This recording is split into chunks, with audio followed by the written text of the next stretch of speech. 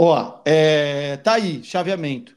Alguma surpresa, fora a Áustria, é, ter caído? Assim, dá para a gente considerar, por exemplo, a Suíça como a grande surpresa dessa, dessa Eurocopa?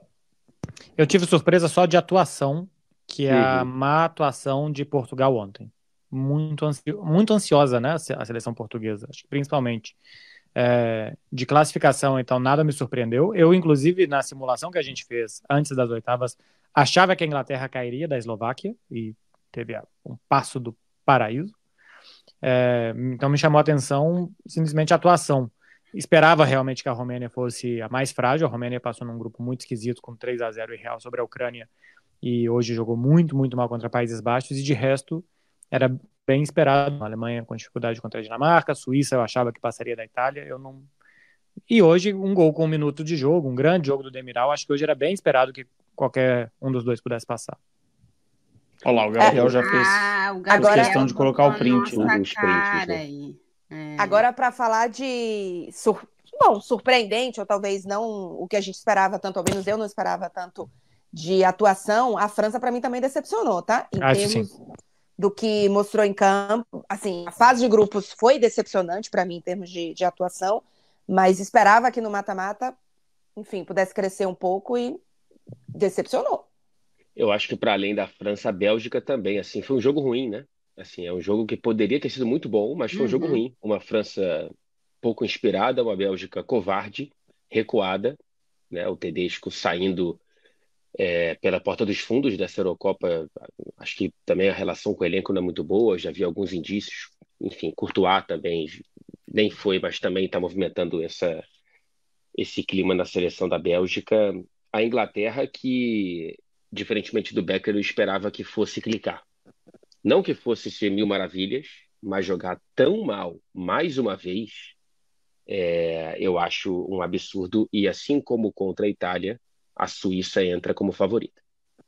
É, eu, eu acho que a Itália, a Itália ser eliminada pela Suíça, acho que a forma como foi. Hum, deixa muito nos holofotes a seleção italiana, né? É, a Clarinha até falava, é uma seleção que está passando por uma transição geracional, né? A gente vê muitos jogadores jovens, mas a forma como a Itália foi eliminada também me chamou a atenção. Acho que a Suíça era a favorita, tá? Pelo que tem mostrado nos últimos grandes torneios, a seleção da Suíça.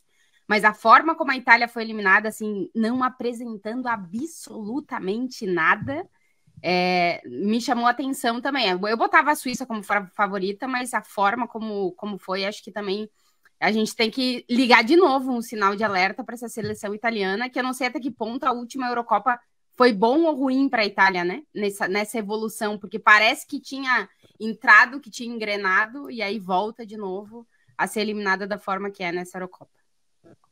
É, a Eurocopa ruim da Itália, para mim, a, a, assim, o principal responsável é o Spalletti, eu falei aqui algumas vezes, até antes, enfim, da eliminação, de que eu acho que essa Itália tem talento, eu acho que tem bons jogadores.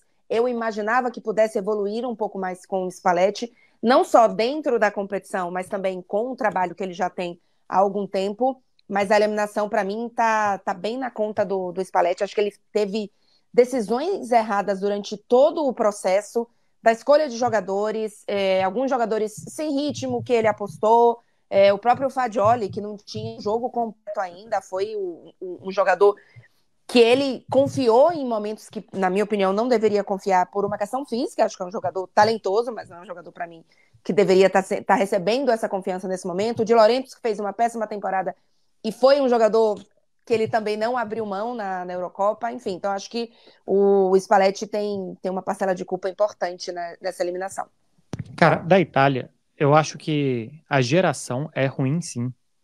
É, e eu acho que, que os fracassos recentes da Itália não são porque, igual, o, o, o mau plano do Spalletti eu também acho, porque acho que você tem que pegar o que você tem na mão. Se você não tem um grande time, joga todo fechado, uma bola para cima para ver se um atacante ganha vida lá na frente, eu acho que é melhor do que jogar no 4-3-3, de peito aberto, tentando jogar aparentemente, porque não deu nem para ver na prática, mas aparentemente como o Napoli queria fazer.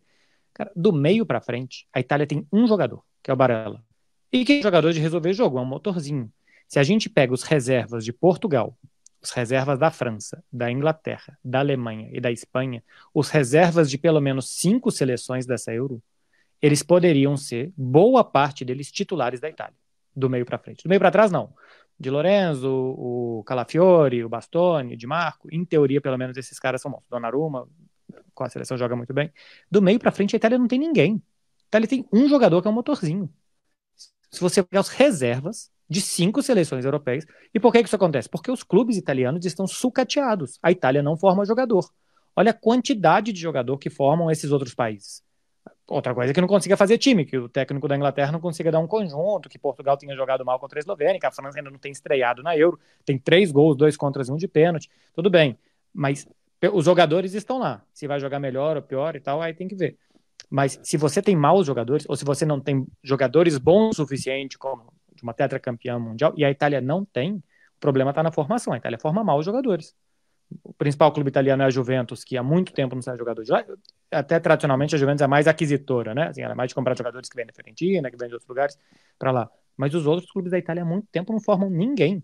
Não é um país que, que consegue, que perdeu o fio da meada de fazer jogadores. Eu sei que eu posso gerar alguma polêmica falando isso, mas para mim, e, e, eu deixei claro isso, entendo que a Clara não concorde, o Beckler talvez concorde um pouco mais. É, a Suíça, coletivamente, é muito melhor que a Itália, a Suíça sabe o que quer fazer, é um time bem ajeitado. E para mim, individualmente, a Suíça tem algumas peças. Se você comparar todos com todos, talvez é, vai dar ali igual, mas tem algumas peças que a Itália não tem e que individualmente são melhores. A Itália não tem um Chaka, cara. Né? Você viu que jogou mas, o Freuler, Mas poucos têm, né? É. Assim, o Chaka é um jogador difícil de achar por aí, não é um cara qualquer. Sim, mas você tem hoje, né? Você tem o Rodri, por exemplo, é, é um jogador assim. O Tony Kroos é o, isso para a Alemanha, né? Você tem algumas seleções que tem esse cara. É, por exemplo, o Bruno Guimarães poderia ser para o Brasil, ainda não foi com a camisa da seleção brasileira, mas em, a nível de talento, a nível de talento, ele pode ser um cara de, desse, desse perfil, mas assim, o que, eu, o que eu quero dizer com isso é que individualmente me choca que a Suíça seja melhor que a Itália também em vários aspectos. É, e não me chocou nada, não foi surpresa, a eliminação da Itália, pelo que eu vi na fase de grupos. Então, dos times que estão jogando mais bola hoje na Eurocopa, eu ziquei a Áustria, mas talvez vou zicar os outros agora, a Espanha, a Alemanha e a Suíça. Dos times que estão aí na, nas quartas de final. Vocês fazem algum adendo para mais um? Não, não. Inclusive, acho uma pena que Espanha e Alemanha se enfrentem agora, né? Os dois uhum. melhores times, um deles vai ter que cair, enquanto Portugal ou França é, vai chegar nas semifinais. Portugal e França não jogaram como semifinalistas. Podem até jogar nas quartas de final, tá? Mas até agora não jogaram como semifinalistas. Alemanha e, e, e, Espanha, sim, e uma delas não será. É, são coisas de cruzamento e, e tudo bem. Agora, é impressionante a quantidade de seleção com bons jogadores jogando mal. É um denominador comum, seja na Europa, seja na América do Sul, assim, é, é, é, é raro você ver o que a gente está vendo na Espanha e na Alemanha. E na Suíça nem se fala, né? Mas é, França, Portugal, Inglaterra, Brasil, é, não é fácil, gente. Assim, é, quando você olha, vai criticar o Dorival Júnior, tem o Southgate, tem o Deschamps, cada um tem o próprio crédito, né? O Deschamps tem duas finais seguidas de Copa do Mundo, por exemplo, com o título vencido. Dorival, Dorival acabou de chegar, o Southgate conquistou resultados que não bateram em título, mas que são expressivos para a história da Inglaterra.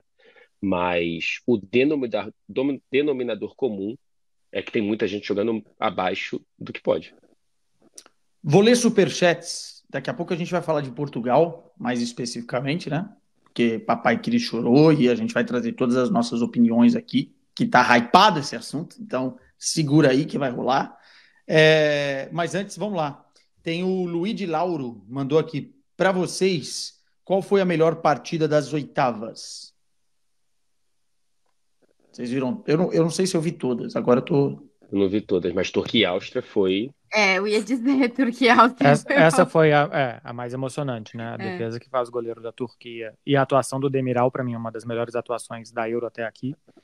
É, Alemanha e Dinamarca foi muito bom. Uma pena o jogo ter ficado parado meia hora porque tirou ritmo, mas desde o primeiro minuto a Alemanha tem um gol anulado, né? Por uma falta. E a melhor atuação, mais uma vez, foi da Espanha, né? O uhum. 4x1 é extremamente mentiroso. Era para ter sido 7, 8x1. Alguém mais? Não, acho é que é isso aí, aí mesmo. Vai por aí? Eu acho que é, eu acho uhum. que é isso aí mesmo, sim. A, a é... segunda grande atuação é de, é de, Países Baixos. Só que a. Uhum. Bom, e a Geórgia talvez fosse a segunda seleção mais fraca, mas a Romênia também é muito, muito abaixo, né? Uhum. Maior com 24 seleções é demais.